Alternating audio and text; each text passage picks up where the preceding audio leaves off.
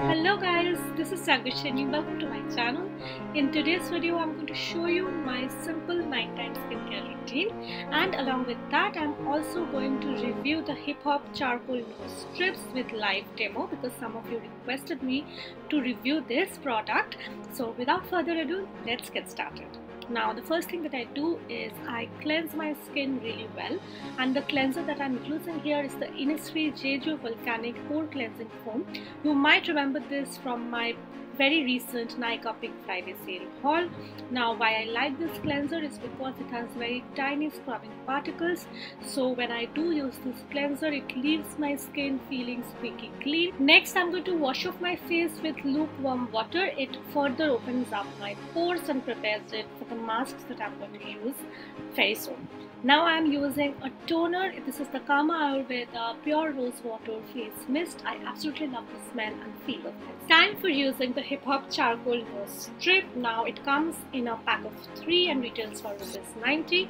I'm going to use one pouch and uh, I'm just going to have to take the black side off from the plastic wrap and then apply it on my nose.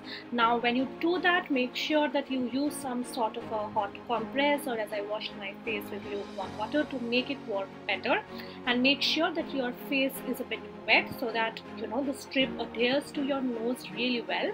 And now you just have to really press it down. And when you just see the strip turning a bit black you know that it has completely adhered to your nose and you just have to let it dry completely. Now sometimes when I want to care for my skin a little bit extra I use a sheet mask like this Tony Moly one the reviews of all of which will be up very soon on my channel. But today since I'm doing this nose strip I'll be using another mask the one that you're seeing on the screen right now.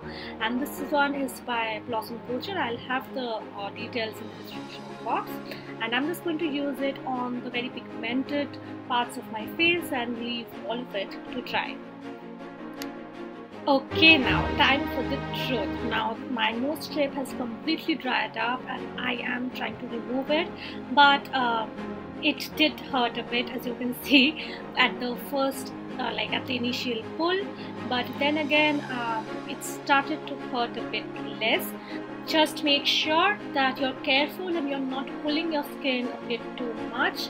Um, so the thing is these charcoal strips can be really harsh on your skin. So just try to be as gentle as you can. Only one hard pull and I have taken out the nose strip. I have teared up a bit but it hurts less than many other charcoal strips that I have used previously.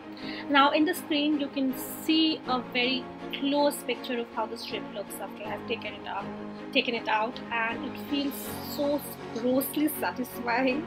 Like it just feels so so satisfying.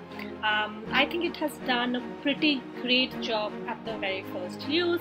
So I am going to 100% recommend it because I did not see my skin react to this after 24 hours of using this.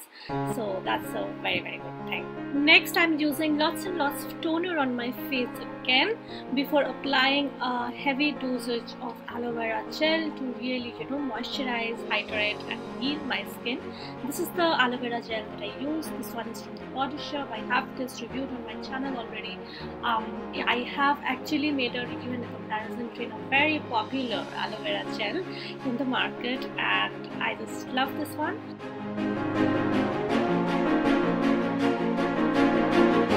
step of my nighttime skincare routine, I'm going to use this cocoa butter lip balm from the Body Shop that you might remember from my skincare, makeup and hair care remedies video last week.